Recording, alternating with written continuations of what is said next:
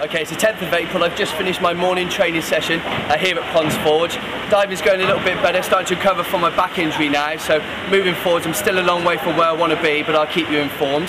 Uh, the reason why I'm in my Olympic tracksuit is because I'm about to head up to a school in Sheffield. A friend of mine's son, who's seven years old, I'm going in to see the whole of Y3. Uh, I've got my Olympic medal in my pocket, I've got some autograph cards, and uh, tell them a bit about the Olympics and try and inspire them to get a bit more active because a lot of them in the school apparently aren't that keen on sport. So doing my thing, and I'll uh, try and take some footage to let you know how I get on.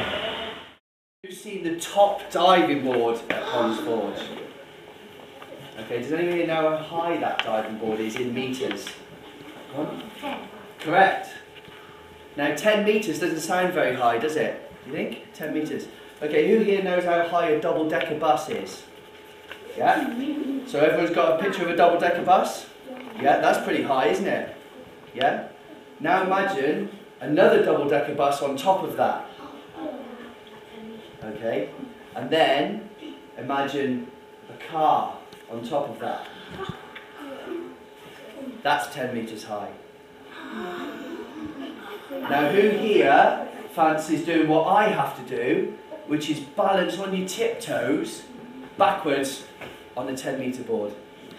Do you? Well, great. You see, now when I ask that question to adults, they all go, "Oh no, definitely not." I don't think your teachers would. No uh, way. that. I do. Right up on your tiptoes, but sometimes I have to stand backwards. Sometimes I have to stand forwards. Sometimes I even have to do a handstand. Now I've got, I think I've got a video clip on here, which I'll try and play for you of me doing a handstand. Would you like to see that?